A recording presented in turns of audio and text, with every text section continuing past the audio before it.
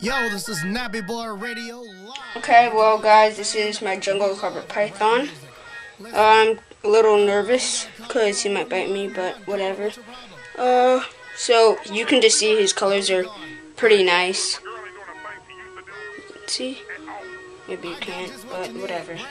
Okay, so uh, to change a snake's cage, you usually want to put them in a temporary container.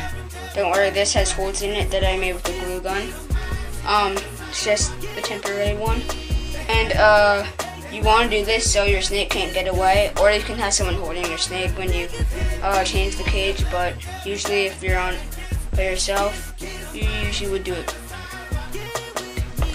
Okay, so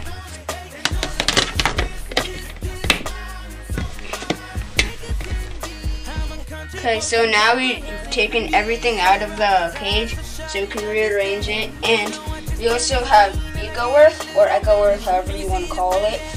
Uh, it's pretty good stuff, except uh, people say that it's a breeding ground for mites, and I always check that before I put it in. Uh, but I'm going to spray it down a little bit so it can keep the humidity up good. So I'll just spray it a little bit, just like that. Okay, so What we also do is we add moss. Yeah. It uh, keeps the humidity up way more than just the dirt by itself. Yes, so but we're gonna do that a little bit. Okay, for uh for some snakes, because if you have like a long tank, it's easier if you put in the water dish like glass or something. But if you have like a more vertical cage like this, uh, it's usually best to put it in first. So I just have a little water dish that I'll put in now. Uh, the water is filled with chlorine-free water. Always make sure you have chlorine-free water for your snake because the chlorine is not good for it. Okay, just take out the moss real quick. Okay, he never uses this log, but it's just it's there just for security. Uh, so uh, cause they're semi-arboreal, which means they're just like tree pythons and stuff. Except they also like going on the ground a little bit more. Yeah, so that acts as a hide for the bottom in case he wants to go onto the bottom. So now we're adding the moss to help the humidity. It keeps it up a lot. Yeah. Same with the Eco Earth. And if you mix them, keeps it the humidity up a lot, which is good. Which is exactly what we want. Yeah, because So now uh, I'll just spray it a little bit. Yeah, uh, jungle carpet pythons require high humidity of around 60-65%. So we recommend to have moss and use some kind of dirt because that keeps humidity um, very well. Repti bark would work, but uh, doesn't keep the humidity up as well as coconut fiber does. So that's why I use it for snakes that need high humidities. Okay, so uh, it down. Now we have some uh, little tree. It's just uh, I don't know what it is. It's like a grapevine, I think. So we can put that in. Yeah, you can find those at all your reptile stores or pet stores. Most, but yeah, I bought this at a reptile store for like a couple bucks, so that's really cheap. Yeah, pretty cheap. Good stuff too. Yeah, he likes it a lot. Also, a really common thing is these vines. Wait, yeah, so They're pretty long. I'd say six feet, six, okay, maybe. six or five foot. They're definitely longer than or taller than I am. and I am. Yeah, That's no doubt. Uh, okay, so where's the suction cup? Right there on Right the ground. Okay, so we have a little suction cup, and also we should we mix these? Like you can put them.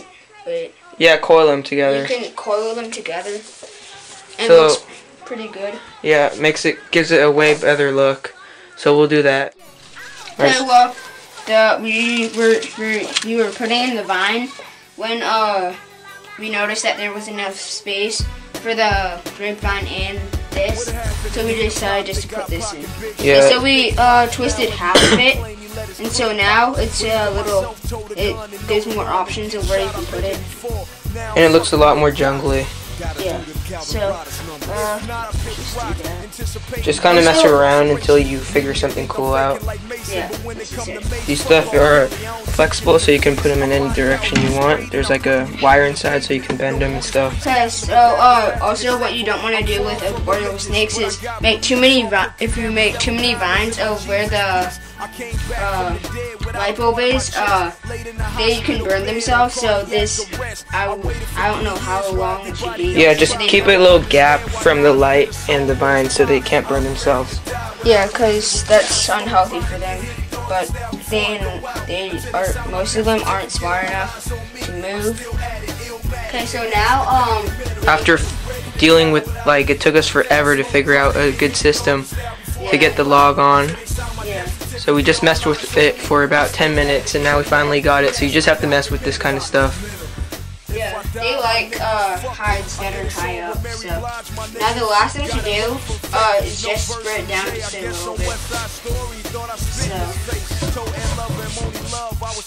So I was talking to Ja with that Maybach line. It was payback time. Keep fucking with me, nigga. I'll put you under me. Take your car and trade it in for eight. Alright, so while he's spraying that down, I'm gonna get the jungle carpet out. You do life in the cemetery. He's in here.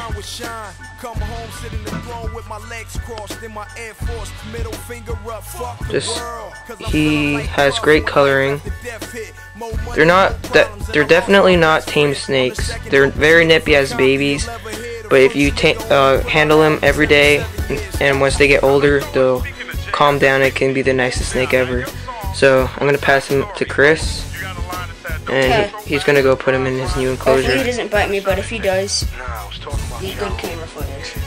Yeah, these guys, if they do bite you, um, barely, uh, it doesn't even penetrate the skin at this age. Let me tell you why I do this shit. I'm a son of a gun, cause mom's was a Hoover Crip. First day I got signed, I had to prove I spit. Okay, well, I also have some tape. Yeah, we tape down the sides because even with the little needle thing that, where's the needle? I never got one. that you put in there, it doesn't keep it all the way close. Dog pound crushed the buildings. I got a family to feed. I'm the middle with nine chillin'. We can talk about a loan after I sell five million. If I tell you I ain't game, So and I that's- don't know Dre, you gon' do me like How you set up a jungle carpet cage. If you have more questions, just comment me. Oh, Chris, tell them about the what their heat requi- requirements are. Okay, so their temperature from on their hot side should be 85 to 90, and then uh, on their cool side it should be 80 85. And you want to have a hot side on the top and a cool side on the bottom. Yeah, that's what you can do basically. Uh, also, they like, uh, well, I, I only know it's babies, I don't know if when they're adults, but they like um, suspended uh, hides because in their nature they would get hunted on the ground, so they uh, reside in the canopy. Uh, so we decided to put a log up there, Yeah, I think it looks really cool. and it provides great comfort for him. Also, with most snakes, uh, their eyes, they're just like one color, and that's it. Like usually it's black, uh, but with his, they're sort of like bluish, and then they have like a, it's sort of like a cat eye, I guess. Same with my sand boas and my ball pythons, buddy. All pythons are black. Okay, well then with my boas. Okay, let's, let's go along with that. But his are so noticeable. Uh, also, the humidity requirements are 60 to 65.